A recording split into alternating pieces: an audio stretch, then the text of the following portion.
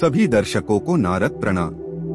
विक्रम संवत 2080 चैत्र शुक्ल त्रयोदशी मंगलवार समाचार सार में आपका हार्दिक स्वागत है।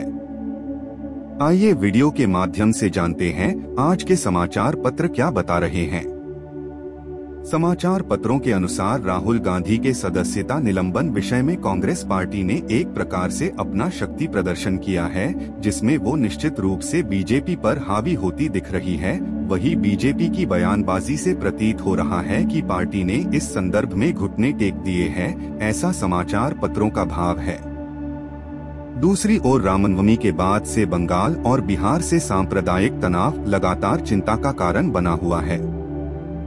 उधर चीन के साथ सीमा विवाद लगातार अपना सर उठा रहा है, इसी के साथ भूटान के राजा के भारत दौरे की खबर इस विवाद पर भारत की रणनीतिक पहल की दिशा में कूटनीतिक प्रयास के रूप में देखा जा सकता है, वही प्रधानमंत्री द्वारा भ्रष्टाचार पर सीबीआई से अनुरोध, आज के सभी समाचारों की प्रमुख हेडलाइन है।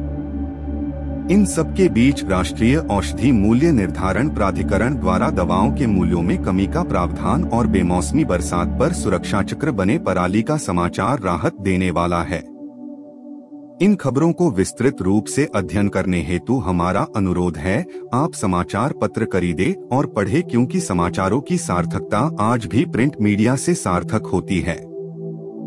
इसी के साथ कल तक के लिए आपकी अनुमति चाहते हैं, हमारे प्रयास के संदर्भ में आप यदि कुछ सुझाव देना चाहे तो आप कमेंट बॉक्स आपकी प्रतीक्षा में सदैव तत्पर रहेंगे। आपका दिन शुभ हो। आप स्वस्थ रहे, मस्त रहे।